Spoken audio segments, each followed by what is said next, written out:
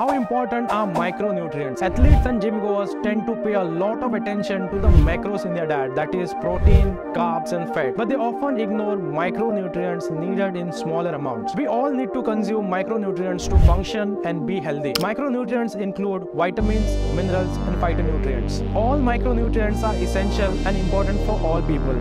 But athletes and those who work out regularly need more than the most, especially if you're trying to lose weight and you're on a calorie deficit diet. Deficiencies in micronutrients will not only impact fitness and athletic performance, but they can also lead to serious health issues. Some of the foods that are most dense in micronutrients are fruits and vegetables of all colors, beans and legumes, nuts and seeds, mushrooms, herbs and spices, whole grains, dairy, lean proteins like fish, eggs, and poultry. In addition, taking a multivitamin or other dietary supplement may be beneficial for individuals who have difficulty getting enough micronutrients through their diet alone. Thank you.